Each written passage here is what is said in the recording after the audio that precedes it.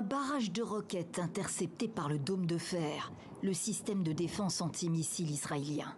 Environ 40 projectiles tirés lundi depuis le Liban, en Haute-Galilée et sur le plateau du Golan annexé par Israël. Des tirs transfrontaliers quasi quotidiens avec le Hezbollah pro-iranien depuis l'assaut du Hamas le 7 octobre dernier. Des dizaines de milliers de personnes évacuées des deux côtés de la frontière israélo-libanaise. Ces habitants du village de Ouazani se sont précipités le week-end dernier, avertis d'une opération militaire imminente. Les autorités israéliennes ont démenti, mais cela fait des mois qu'Israël laisse planer la menace d'une action d'envergure contre le Hezbollah. Le statu quo ne peut pas durer. Il faut changer l'équilibre des forces à nos frontières nord. Nous ferons tout ce qui est nécessaire pour que nos résidents rentrent chez eux en toute sécurité. Je m'y engage. Environ 60 000 Israéliens attendent ainsi de rentrer chez eux.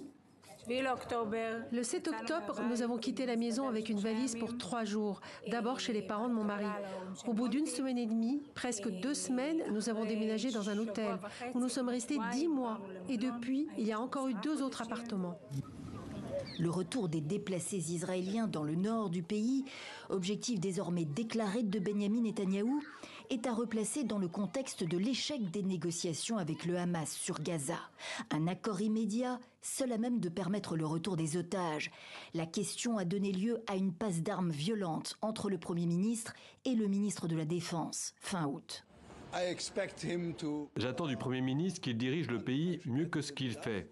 Et j'espère qu'il ne va pas limoger le ministre Galland, qui fait du bon boulot dans des circonstances terribles. Et nous faisons de notre mieux maintenant avec nos amis américains pour trouver un moyen de résoudre le conflit dans le nord d'Israël sans engager une guerre ouverte. Les États-Unis, qui poursuivent leurs efforts de médiation, tentent de dissuader Israël de lancer une guerre ouverte avec le Hezbollah.